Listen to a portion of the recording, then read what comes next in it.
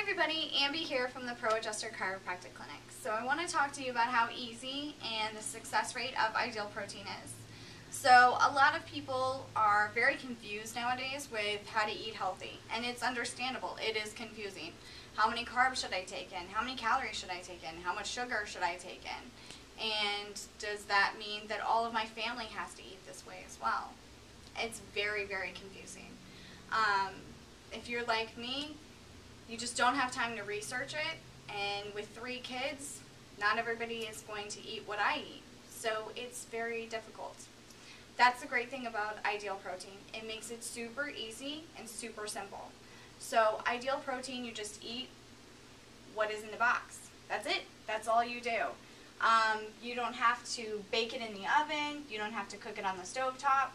A lot of these things are already made for you, and some of them you just make in the microwave. So it cuts down on the cooking time. You can eat it on the go. Very, very easy.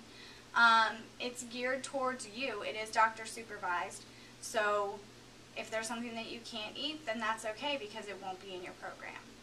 The success rate of ideal protein is astonishing as well. Um, usually patients lose between 2 to 3 pounds a week. So that's an average of what, 8 to 12 pounds a month, that's really great for a lot of people. I would love to lose 12 pounds, and I don't know who wouldn't. That's amazing. Um, the other nice thing I like about Ideal Protein is that if you're like me and you have children, typically your kids will eat different things. My daughter's not going to eat the same thing my son is, and my son's not going to eat the same thing my husband does, and back and forth. So you're cooking a lot of different meals.